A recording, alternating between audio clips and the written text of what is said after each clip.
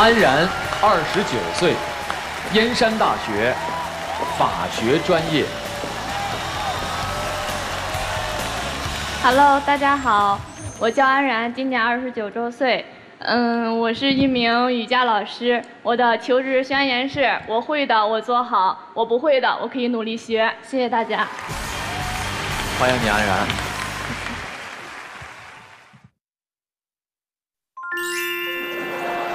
我不太敢看你，你知道吗？太好看了，是是因为他像你前女友吗？和像。像现女友。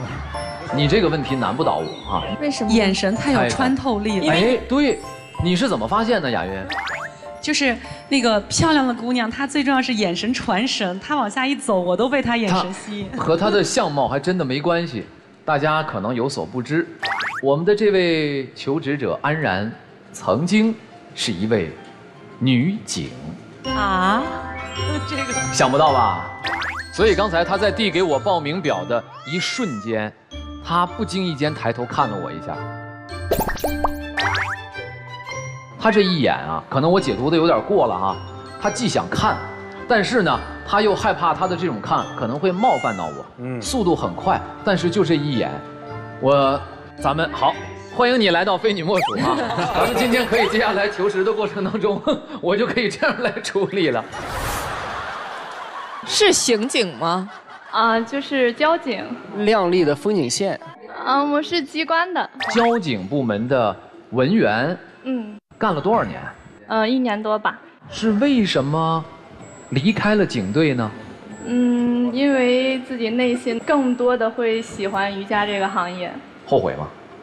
嗯，当时也是很纠结的，嗯、也有一些不舍吧。嗯。但是每个人都在，嗯，在的自己的人生当中都有一个十字路口，也没有人会定义你走的方向是对还是错，还是想按照自己的想法走一下。嗯。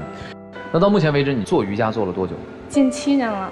你参加过什么比赛吗？嗯，参加过二零二零世界奥赛之夜中国区的比赛。嗯，我了解这个世界奥赛之夜啊是一个健美的一个比赛。是的，它就是一个健美的一个大赛。然后二零二零届是与空中瑜伽相结合的。哎，大老师，你有没有感觉啊？就是安然今天在这儿，他不只是就是他的。内在气质很好，因为我觉得瑜伽做练久了，他肯定是有一个整个气场的这个提升的。对。他外在形象也修饰的非常好，而我看他的那个呃工作意向也是形象管理师啊，所以我其实就特别想听我们一鸣对他今天上场以后，他这个形象是不是就就算很好了？感谢这雨欣抛出这个问题，刚才也是刚才我想问到你这个问题，安然，你是应聘叫形象管理师是吗？你有工作经验吗？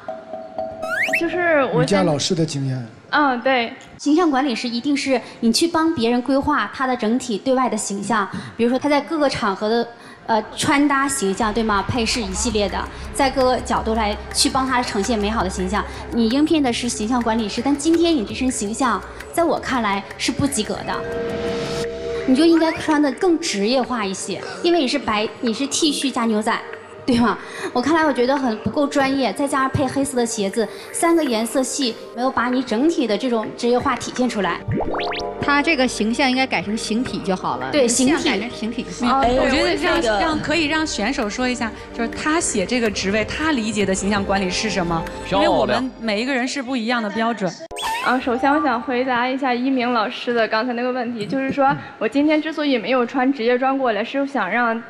非你莫属的舞台的观众和各位老师看到一个最真正、真实、坦诚的我，日常是什么样子的啊？第二，我说的那个形象管理师，并不是指服装上的搭配。我觉得，如果这一个人的气场好、气质好，穿什么都挺好看的。就是饺子好不好吃，不是皮儿的问题，是馅儿的问题。生动。谢谢。刚才安然，你并没有回答。大卫老师问你那个问题，包括我说的形象管理师，你对他的定位和理解是什么？你只是回应了你为什么穿搭，可是没回答这个问题。就是嗯，比如说嗯，呃，一个公司的员工的整体形象，包括站姿、坐姿，嗯，还有日常的举止。所以你是做礼仪方面，或者是肢体形体管理我礼仪只是调整这些动作，但是我想做的是通过瑜伽的系统来从，比如说好多。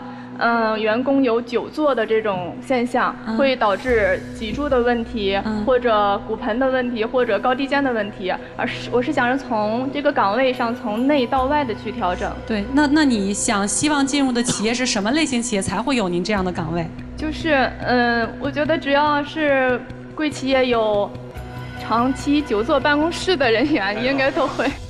其实我觉得他在偷换概念，形体管理师，任何一个瑜伽老师都是形体管理师，他的主要的责任就是把他的学员通过体态调整到健康，把心情从够浮躁嗯调整成沉稳。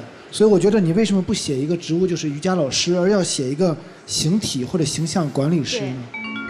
当时没有想这么多。啊，我们整体这样面试是非常有问题的，因为嗯如果说全程我们不去识别这个选手他的综合，因为他本来他简历就写的很有问题了，信息一片空白，哪不知道些问题？他的这个就读的时间这儿时间没有严完整性，没有。然后工作经历没有然后专业认证没有，现在企业的这个岗位名称还有问题，然后后面所有的能力定位都不是他说他具备什么，都是企业家们去猜测，针对他的外形猜测、想象猜测，这个真真实面试绝对不会这样的，所以我觉得我们这在做无效面试。啊，就是可能一开一开始我没有分辨太清，嗯。我其实只是想在公司里面找的一个岗位，就是公司的员工，比如说朝九晚五的在办公室去久坐、手持电脑去做这些事情，他的腰椎啊、坐姿都会影响到他体态的问题。如果说想通过瑜伽这个系统去进行内在的一个调整，让他们达到一个健康、更好的为公司去效力嘛。非常好。目前有这种岗位吗？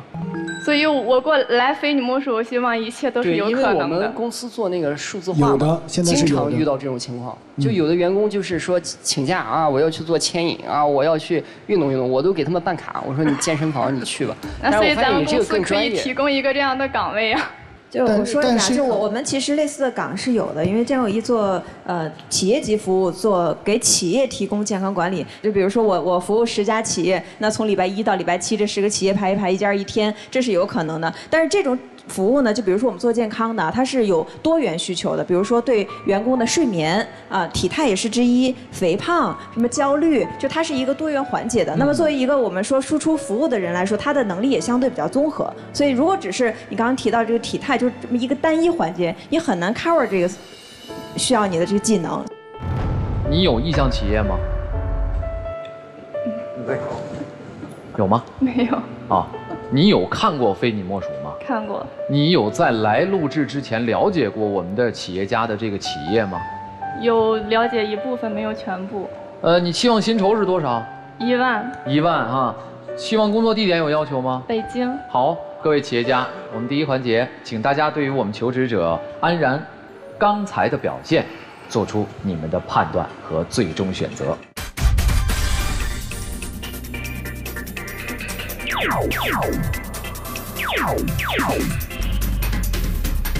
好，祝贺你安然进入到你的第二环节，天生我有才。